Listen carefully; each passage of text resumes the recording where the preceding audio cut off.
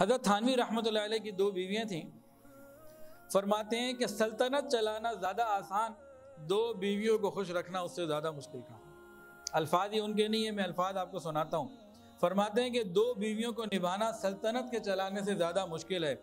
اس لیے کہ سلطنت کے انتظام میں ضابطے ہوتے ہیں اور میاں بیوی کے تعلق میں ضابطے کے ساتھ دل کا تعلق بھی ہو جاتا ہے، اس لیے اس کو سنبھالنا سلطنت کے سنبھالنے سے زیادہ نازک اور دشوار تر ہے۔ دو بیویوں کے سنبھالنے کے حوالے سے آپ کو ایک اور بات سنائیں حضرت مولانا مرشد عالم مولانا غلام حبیب رحمۃ اللہ علیہ۔ میں نے تو اپنے شیخ سے سنا زیمبیا میں اعتکاف کے بیانات میں حضرت جی نے واقعہ سنایا۔ تو بات چلی دو بیویوں سے۔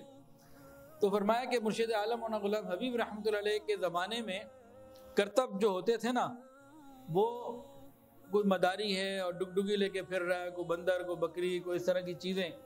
تو اسی طرح کوئی مداری اپنا تماشا دکھا رہا تھا، تو اس کا اس کا جو state of the art program تھا نا، وہ کیا تھا؟ کہ ایک بانس کو زمین پہ گاڑ دیا ہے اونچا۔ اب وہ بیس، پچیس فٹ اونچا بانس ہے اور زمین پہ گاڑا ہوا ہے۔ ایک آدمی اوپر چڑھا، جیسے بندر چڑھتے ہیں، وہ اوپر چڑھ کے جا کے بانس کے اوپر لٹک گیا۔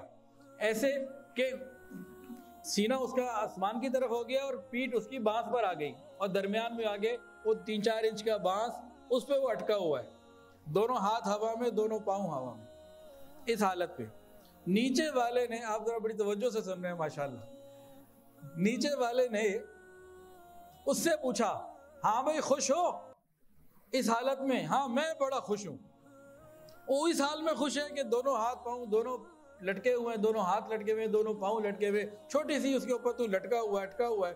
خوش ہے کہاں دو بیویوں والے سے تو میں پھر بھی خوش وہ اس سے زیادہ پریشان میں ہوتا ہے ویڈیو کے نیچے سبسکرائب کے بٹن پہ کلک کریں، بیل کے آئیکن پہ کلک کیجیے تاکہ ہر نئی ویڈیو کی نوٹیفیکیشن آپ کو مل جائے۔